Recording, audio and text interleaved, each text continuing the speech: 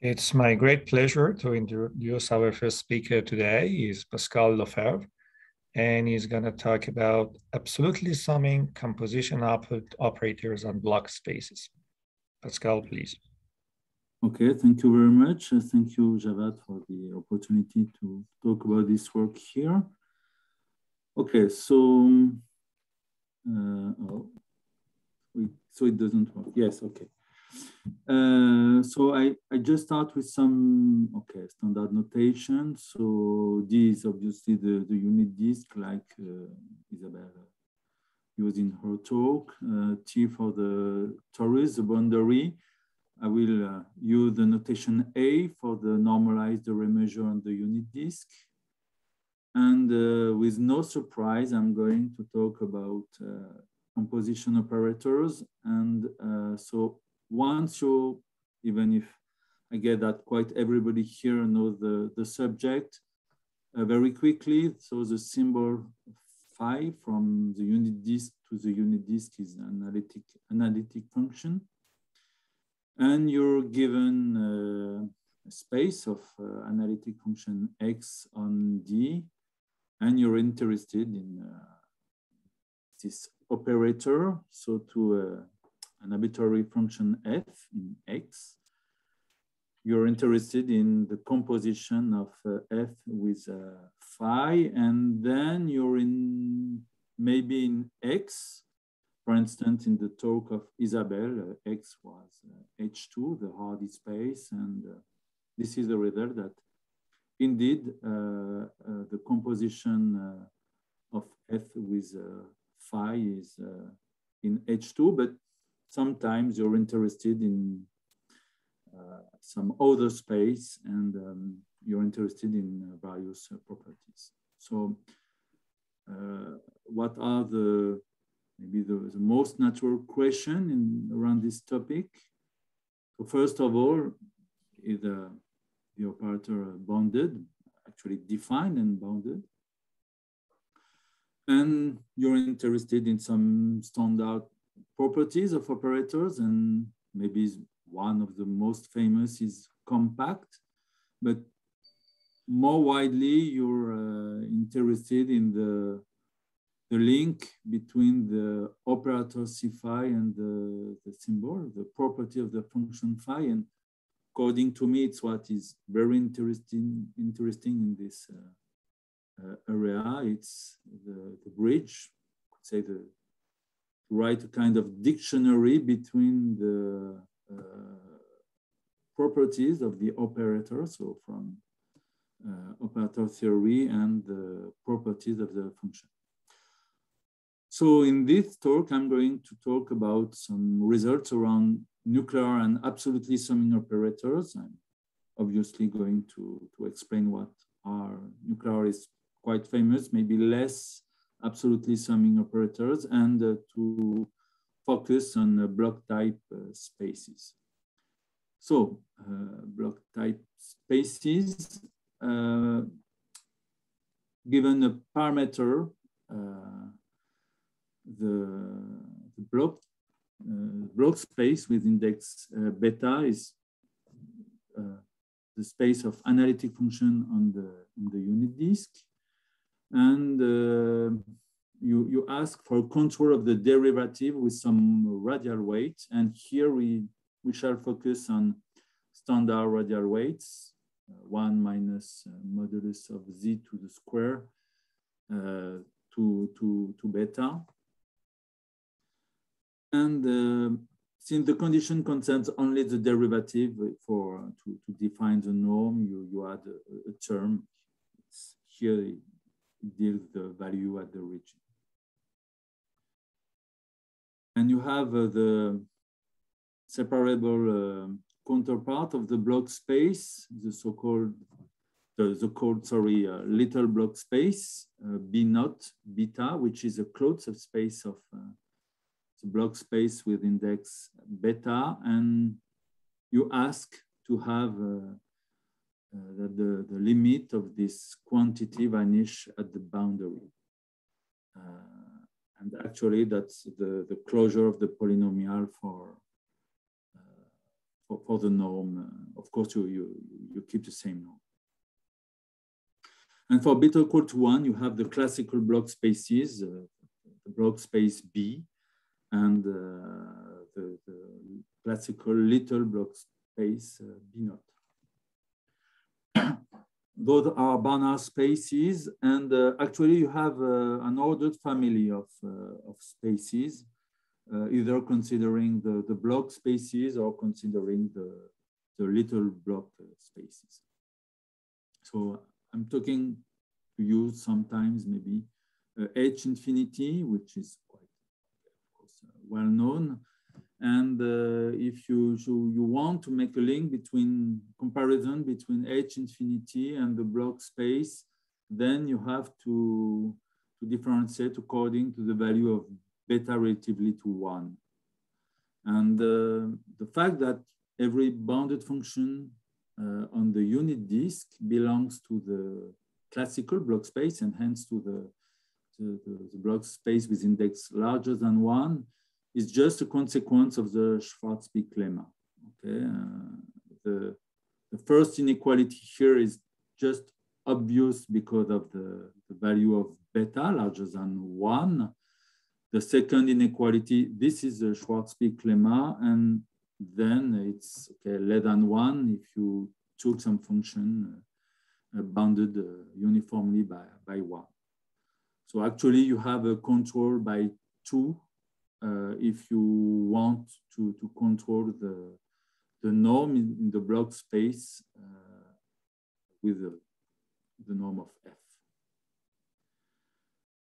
Uh, of course, uh, these are not the same spaces, and here you have the, the standard counterexample of a, a, function belonging to the Bloch space, the classical Bloch space, and not to H infinity. And if you are interested in the little values of the parameter beta, then you have uh, an inclusion, but in, on the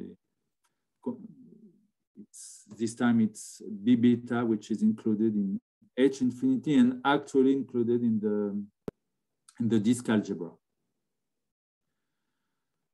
Okay, maybe I want to, to recall some, let's say, basic facts.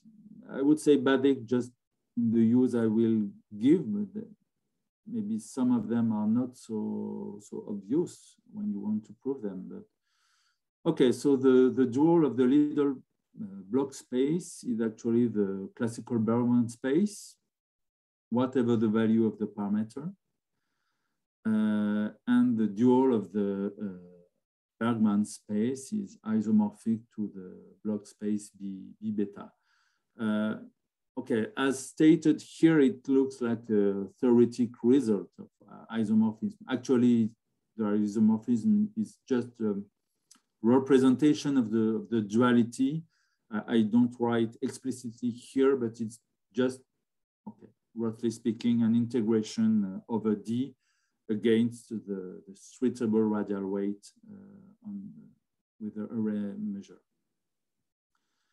Uh, less uh, standard may be a result, but we shall use it uh, in, in the sequel uh, that the fact that uh, the Bloch space is isomorphic to the sequence space L infinity. And of, of, course, there is a link too with the duality I just mentioned because the Bergman space is uh, actually isomorphic to little L1, the sequence space little L1.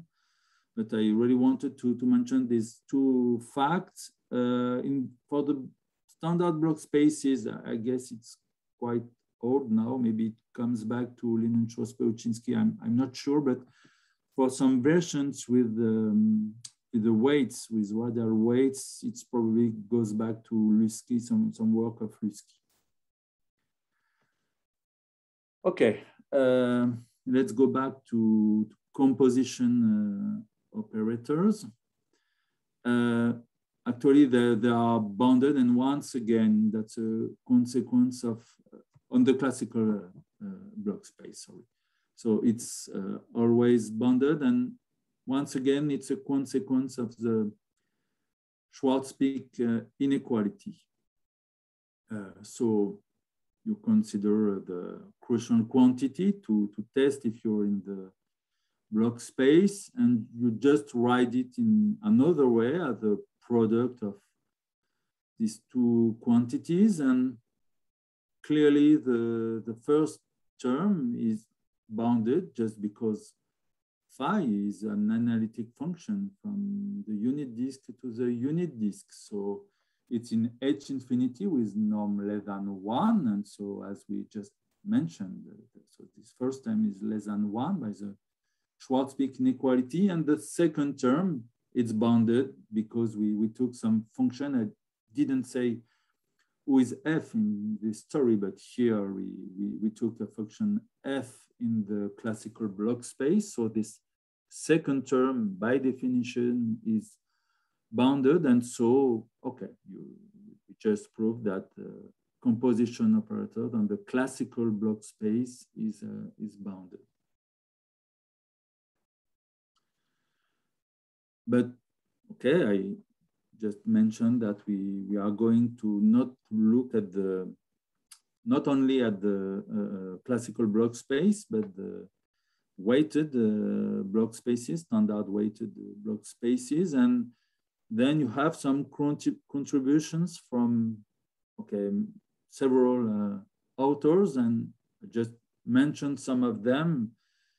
Um, probably there are more than them with some contribution around the boundedness. So if you are interested in the composition operators, but from one weighted Bloch space to another with maybe another index, then you have a condition to be bounded and uh, that's the one just written here.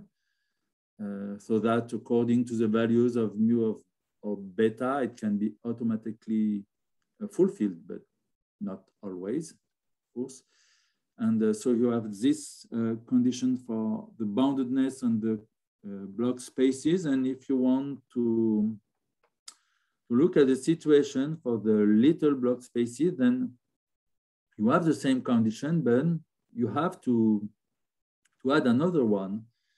Uh, of course, the, when you look just phi of the function these and you, you get phi and you must have phi in the, the space uh, uh, be not beta and the condition is not always fulfilled. So you have to, to add this one. Actually, the, the two conditions together are, are sufficient. Uh, in, in the work of these authors, you have more, more information, uh, but I just mentioned these two, Okay, uh, we we mentioned compactness as the first uh, important uh, property to, to look at. So actually on the classical Bloch spaces, the, the characterization of compactness of C phi was settled by Madigan and Matheson in the 90s. And uh, once again, I will give the, the, the result um, when you look the composition operators from uh, B mu to B, B beta or the little Bloch uh, spaces. And if you want to recollect the, the result of Madigan Matheson, just take mu and beta equal to, to, to one, of course, but it, it, here is the, the, the result. And uh, as you saw in the previous slide, and here uh, I just made some color in blue just to insist on something which is a, a quite uh, common phenomenon around the composition operators. The boundedness was linked to some quantity with a big O condition, bounded condition we, we had in the previous slide. And here you see that the same quantities with, but written with some little O condition. Uh, so the limit uh, on the boundary is, uh, is zero. that's very often the spirit in this kind of result that of, of course you have to the, where, where it's very delicate situation that's around the, the, the boundary. Okay, and that's what we see uh, here.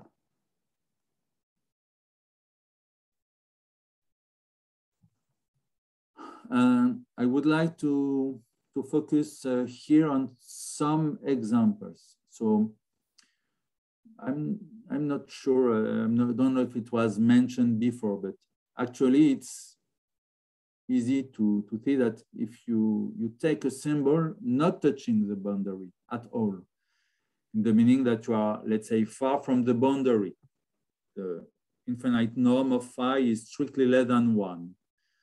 And uh, okay, as we mentioned, let's say that phi is in uh, B beta, uh, then the operator is compact on uh, B beta. Actually, it's very, very compact. It's, I should say, extremely compact. It's a nuclear operator. I'm going to focus on nuclear operators in uh, very shortly. But then, okay, it's not hard to, to, to show that it's compact, even okay, it's obvious with the criterion, but I want to mention even without knowing the, the characterization, we can show that. And uh, as I mentioned, the delicate thing is around the boundaries. So do we have some examples of compact composition operators uh, touching the, the boundary? And maybe at first uh, on the, when, when we look the, the operator on the classical Bloch, Bloch space. So I immediately, forget, of course, the identity, which is clearly not compact here. But okay, uh, uh, first idea is to, to look at some circle, I have in mind the phi of D. So that's, for instance, here the symbol uh, Z plus one over two. And uh, you have uh, here a, a, drawing of uh, the image of phi. But it's quite easy. And once again, of course, the characterization show that, but even without the characterization, you, you can show very easily that it's not compact. So now let's look at another example, which is quite famous in the theory of composition operators. So that's the, the Lens map. So I, I gave the formula. You, you're given a parameter so between zero and one, uh, not one. You, you would get the identity, but let's say theta strictly less than one. And uh, kappa here is the, the Cayley transform. So to, to explain how you, you, you get that, you, you first um, map the Cayley transform. So you go from the uh, unit disk to the right half plane. And once you're in the right half plane, you take V to the theta. So have you shrink your right half plane into, uh, into a sectorial uh, area domain. Okay, and then with the inverse of the Cayley transform, you, you come back to into the, the unit disk, and so you, you get such a, such a map. And uh, if you you draw the, the picture of phi of d, then you, you, you get this uh, this picture.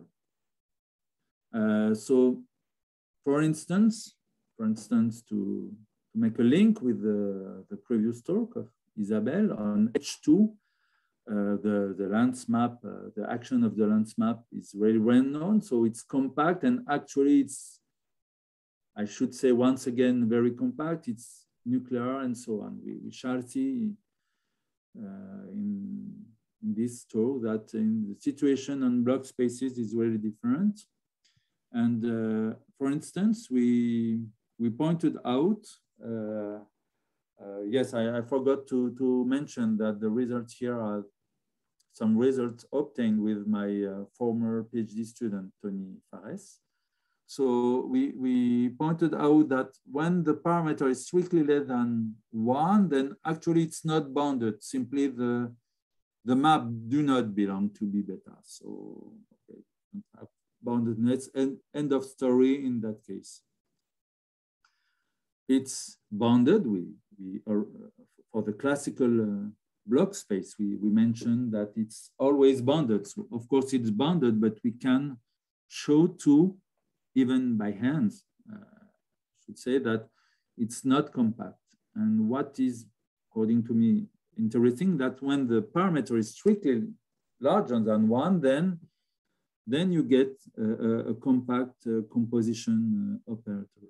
And uh, we shall see some other phenomenon at the at the end of the of the talk around this uh, lens map. But still, if you wanted to produce uh, a particular example in the classical uh, for the classical Bloch space of compact operator, but with symbol touching the, the boundary, then okay, here it doesn't work uh, with this uh, kind of map for the classical Bloch space. And um, so, so maybe have in mind the, the first picture with the circle. So we, we had a, at point one, tangent uh, uh, area, okay? And with the lens map, I should come back, then you see that around point one, it's in some sectorial uh, domain. So it touches you know, more smoothly way uh, the, the boundary. But here you see the new drawing with the cusp map. It's even uh, a slighter way to, to touch the, the boundary. So the what is a cusp map? You, you first, you, you, you ask for two things. First, you have to be in a sectorial, like the lens map, actually, but the second condition is given by the distance of a point into the phi of d to the boundary. And it has to be little o of the distance from w to, to 1. So you have this kind of picture okay?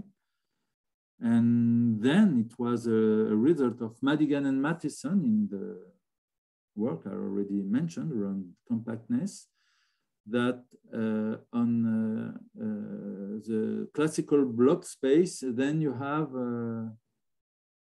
you have a compact operator, and so you you you produce you can produce a symbol touching the, the unit circle at some point, uh, but inducing a, a, compact composition operator.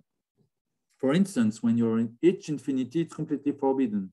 Composition operators compact on H infinity, then you must have the infinite norm of the symbol strictly less than one. So the situation is very different here. But there is a, uh, according to me, a very maybe more striking example because you, you see that on the, the drawing, you, you touch very smoothly the, the boundary at point one. And then you could think that it, it's forbidden to fulfill the, the disk, for instance, but actually not. There is an example of uh, Wayne Smith in the, in the 90s too, that you can have an inner function, actually a Blaschke product. So, okay, maybe not D, but almost D, let's say, uh, that you, you get a compact composition uh, operator. And this situation here, it's, uh, for instance, forbidden for Hardy spaces.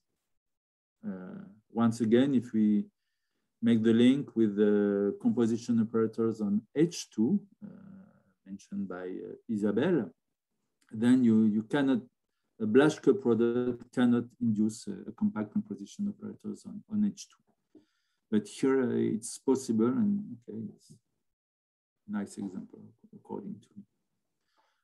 Okay, so I, I already mentioned several times the uh, nuclear operators and maybe I'm going to recall what uh, the compact uh, nuclear, sorry, operators. So when you have some arbitrary Banach spaces, how to produce uh, just, uh, let's say, even a bounded operator in full generality, okay, you have the identity, uh, lambda times identity. And, and, then it's not so obvious if you maybe even do not have any basis or I don't know. So you have the functionals, you have therefore the, the rank one operators, the sum of rank one operators, and then you can have the L1 sum of rank one operators and for generality it's not so obvious to produce some other kind of operators. And uh, so if you do it this way, actually you have uh, not only a bounded operators, but a compact operator at the limit of uh, finite rank operators. And uh, so that the definition for an arbitrary uh, from, an operator between arbitrary spaces, Banach spaces X and Y, it's uh, said to be nuclear if you have a, a sequence of functionals on uh, y, uh, uh, x, sorry, and a sequence in y with such a strong condition of uh, summability of the norms, and t is given by this absolutely convergent sum of rank one operators. So as I mentioned, they are compact in a, in, a, very strong sense. And the other kind of uh, operators I want to talk today are the p-summing operators. I just wrote well-known, but okay, uh, it was for p equal to, to one, I'm going to, to give the definition and a few properties to, to maybe well understand uh, how it works. For p equal to one, it was introduced by uh, Grothendieck, so a long time ago, and for arbitrary values of p, it comes back to, to, to the late uh, 60s and mainly the 70s uh, in many work around the geometry of Banach spaces. Okay, what is the, the definition uh, for an arbitrary p larger than uh, one? Then uh, an operator t uh, from x to y is p summing or p absolutely summing. If you have this condition, Okay, uh, so let's say it that you have a, a LP summable sequence of uh, XG in the weak sense. And then when you look at the images of T of XG, then you have a LP sum in the strong sense. Okay, the, the, uh, the second equality, which is very often useful. It's just a, a rephrasing using the linearization of uh, the LP sum and uh, mainly Hahn-Banach. Okay, just another way to, to, to see it. But okay, the, the definition is, okay, when discover it uh, the first time for arbitrary values of P, maybe it's not so easy to understand what what does it mean? So maybe I want to, to start with a, a generic example. We, we, shall explain why it's a generic example and simple one. Just take a, compact space and the probability measure on K. And you look at the, the identity, the formal identity from C of K to the LP space associated to K and, uh, and this probability measure and it's a, it's a p-summing operator and it's very, very easy to, to check. Just uh, check the definition. So you take the, the LP sum of the FG in LP, but the, the LP norm to the P, it's very easy to, to sum because you, you have the integral. And so you, you take obviously uh, introverting the integral and the sum, the second term, but then it's quite finished already because you the, the function inside the sum of the modulus of the AG to the P, then you, you can get an upper estimate with a supremum over the, the point W and K, and uh, you get these estimates uh, with, uh, okay, the, the mu of k is one. We, we took here probability measure. We, of course, we could use only a positive finite measure and get something p summing, but okay, I, I took something with probability measure. uh, you, you see with the definition that if you restrict the operator, then clearly the condition in the definition is still fulfilled.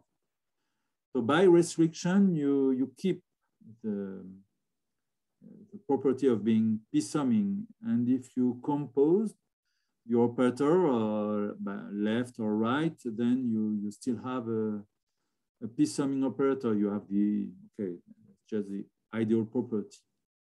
So from this uh, generic example, by restriction and composition, you can have uh, many, uh, many other uh, examples. And uh, we, we are going to, to explain uh, shortly that actually they are all like that, the p-summing operators. But first, maybe, sorry, once again, when you see the definition for arbitrary P once again, I, I, think at first sight, it's not easy to, to understand, well, okay, how does it work? But if you take the particular value of p equal to one, then it says some things, it's actually equivalent to saying that if you have an unconditional convergence series in X, then for the T of Xn, you have an absolute uh, convergence series, okay? And Okay, let's say that p-summing, it's just the LP version of that. And uh, so it's very easy to, to check in one line that nuclear operators are one summing. Uh, and you, you could expect maybe that it's uh, more than compact, being uh, one summing, mainly because I, I, just mentioned compactness at the beginning and very compact and so on. So in full generality, one summing does not imply uh, compact. Just think to the, uh, the example I just gave. If you take the formal identity from C over zero one to the classical uh, L1 space with the Lebesgue measure, then you have a one summing operators, which is clearly not compact. So, so it full generality, it's not, it's not compact, but here we, we are going to focus on um, Bloch spaces uh, or little Bloch spaces isomorphic to C naught Ln infinity. And it turns out that when X is C naught, then one summing implies nuclear. And so it implies compact. And uh, when it's L infinity, we have the, the same result. So in our framework here uh, on uh, Bloch spaces, uh, when you look at p summing, now one summing operator, then it's indeed uh, uh, more than uh, compact. Okay, I could mention too that one summing does not imply compact, but it does imply weakly compact. I'm, not going to talk about weak compactness here. Once again, for instance, if you think to C, C naught, weak, uh, weak compactness implies compactness by the Schur property of the dual of uh, C naught. So, okay, weak compactness and compactness, that's mainly the, the same thing in this framework too. Okay, uh, with the definition or with the, the very important result I'm going to state just after, it's easy to see that once you're p summing, then you're q summing for larger values of uh, when q is larger than p. And uh, to really explain how another point of view on p summing operators, and actually it's a characterization, it's a very, very important result uh, this topic. That's a Pietsch domination theorem, uh, which state that if you are uh, absolutely summing, if and only if for some probability measure on the unit ball of the dual equipped with the weak star topology, you have such uh, an upper estimate, so in terms of the integral over the over this uh, unit ball against this uh, probability measure. But I, I, would like to, to explain that actually that's a factorization result. Indeed, if you see your Banach space uh, and I uh, up to an isometric uh, uh, copy, it's a subspace of the space of continuous function over the unit ball of the dual space. Okay, so it's subspace of a C of K. And then consider, up to now, consider any probability measure on this particular compact. So we explained that GP and here the restriction of uh, the formal identity to this uh, to, to the LP space of a mu is p summing. So up to now, considering any probability measure on this uh, unit ball of the dual, you you get uh, you you get a p summing operators. But what explains the Pietsch domination theorem is if you take uh, a good probability measure, a suitable one, then you can come back with something which is, roughly speaking, the action of t to y. Okay, so, so this upper estimate actually uh, translates into a factorization theorem. Uh, being p-summing, it's roughly speaking to be able to factorize maybe not through the formal identity from C of k to some LP of k, but to the restriction of such operators. So that's why the, the, the example was so, so important. Okay, so of course you, you understood that we were interested in when uh, the composition over Bloch spaces uh, viewed on Bloch spaces is p-summing and with uh, Tony we we obtain the full characterization. So given any p larger than one, any parameters mu and uh, beta, then uh, the composition operator C, C phi is uh, p summing if and only if the restriction to the little Bloch is p summing and if and only if you have uh, such a, a characterization, I wrote it this way to put in the middle the quantity you saw in the characterization of compactness. So there is a power to the P. You see something uh, kind of weight, but you have a supremum uh, on D over D, and you have the hyperbolic measure uh, on the unit disk uh, for the integration. And if you just add the condition that phi was in the little Bloch, then that's the same that the composition between little Bloch spaces are p-summing. And uh, actually, we, we first were interested in the nuclear composition operator on the classical Bloch space. So it was in the previous work. So for P and mu and beta equal to one. Once again, uh, one summing, which is turned out to be equivalent to nuclear uh, here. Uh, but only for the Bloch, classic, classical Bloch spaces, we had a characterization here with the generalization uh, with the, um, okay, the, the fact that you, you generalize with the indexes is not so hard, but the very technical part from passing from p equal one to arbitrary p is ready for to, to get the p. It's not, just not formal.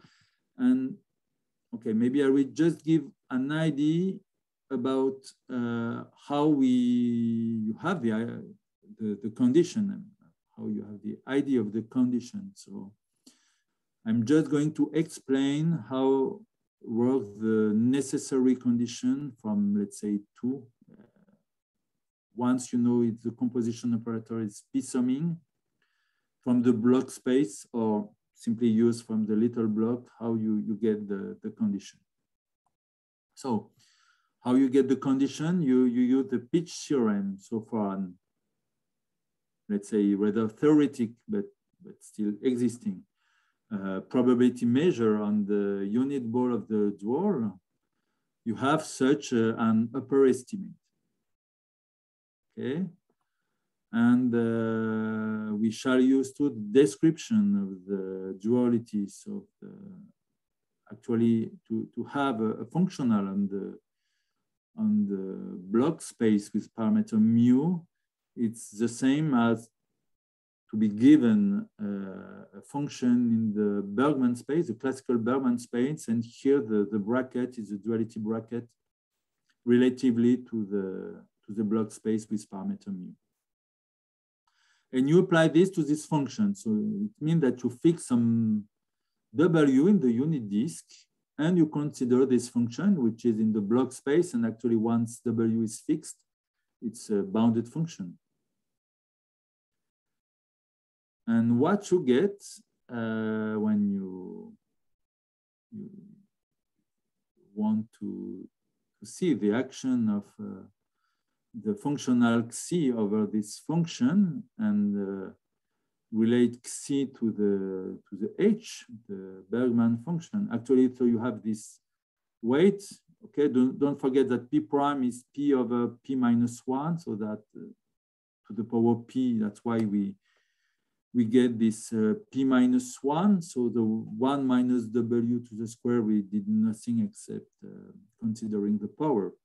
But then the action of uh, the function one over one minus uh, uh, the conjugate of wz to the power one plus mu against h and using the duality bracket and the reproducing kernel formula. In a way, you, you have the h of w. And here is a trick.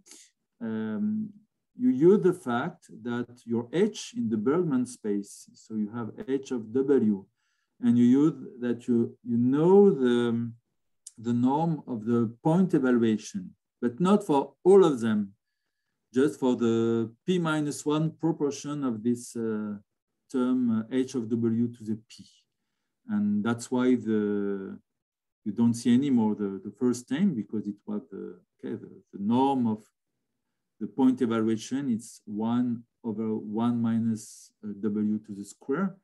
So that's why you get that. And then using that and iterating what you, you got, uh, then you, you get this estimate on the left-hand side. You have nothing but the, the, the norm in the, the Bloch space with parameter uh, uh, beta of C phi of f of sub W and then the integration. So it's just a rewriting. And then on the right hand side, you have an upper estimate and then you, you took the integral of a W, and then was the L1 norm of H so over D.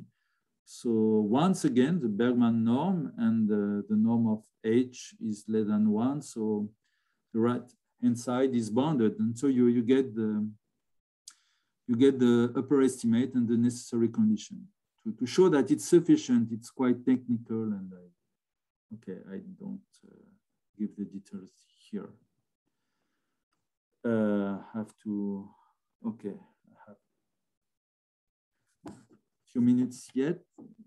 So um, we, we weren't still interested in, okay, I, I mentioned some symbol touching the boundary and uh, uh, being compact, can we have a nuclear operator uh, touching the boundary and still being compact? So using the characterization and using the idea of Madigan and Matheson, but then you have to, to impose not on, only a, uh, a condition with little o of uh, the distance to the point one, but such a condition which uh, make that you, you have to, to flatten uh, very much your cusp uh, when, uh, when you are close to, to one, but yet you, you, you get a, a nuclear operator touching the boundary on the, on the classical Bloch space.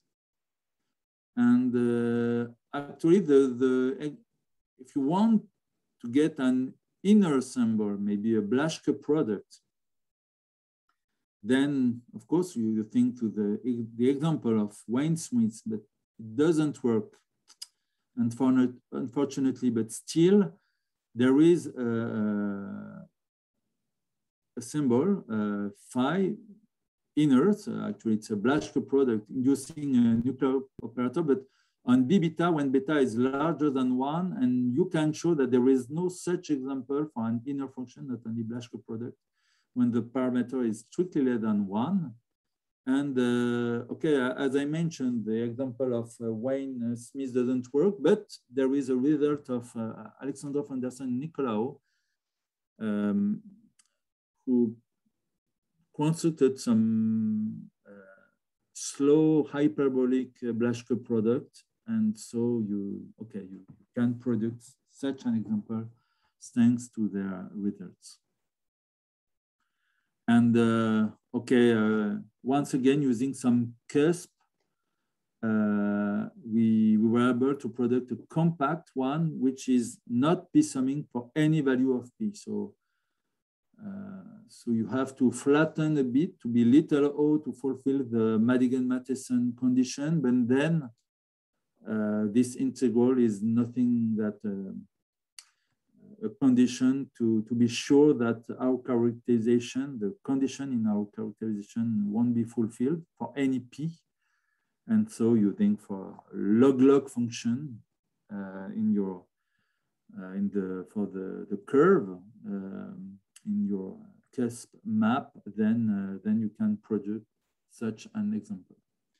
So I just have a very few minutes left, uh, I think. And uh, okay, I think that according to the title of the conference with the composition, I, I'm okay, but I didn't mention anything about semigroups. So I will do it very quickly now and come back to the Lens map. Uh, semigroups, so just I, I, I just recall the drawing and how it was defined.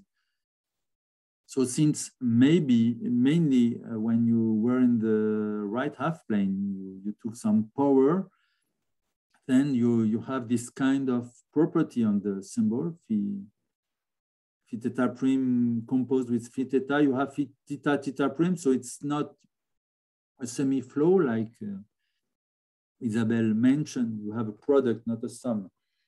Sorry, but then once you are given theta, actually you can embed it in the semi-group, just taking theta to the t for some positive t. Actually, I could take t equal to zero, yeah, then I have the identity. So you have the semi-group uh, property and uh, to, to relate it to, to our results, when you have, uh, we, we mentioned uh, one slide that for the classical uh, Bloch space, it's bounded but not compact, so it cannot be uh, p-summing. But when the parameter beta is strictly larger than one, then the lens map is p-summing when p is large enough with, uh, with this condition on theta related to, beta 2.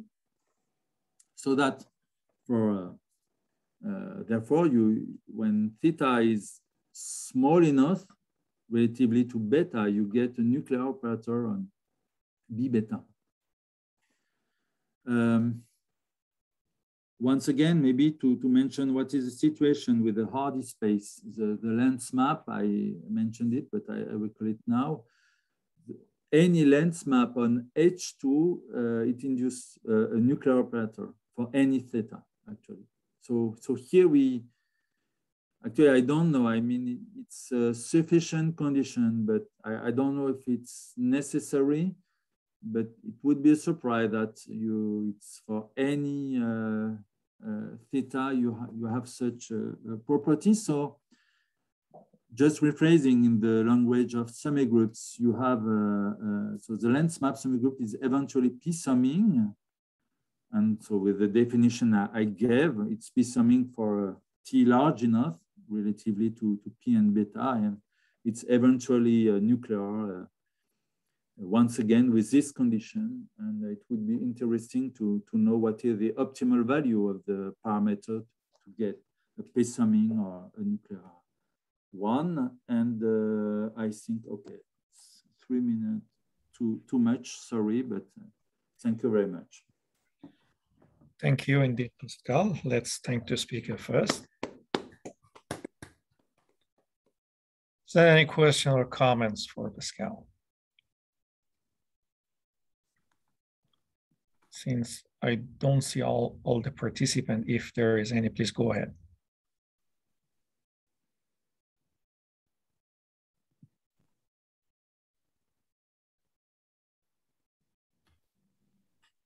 It seems not. So let's thank him again for his wonderful talk. Thank you. Thank you indeed, Pascal. We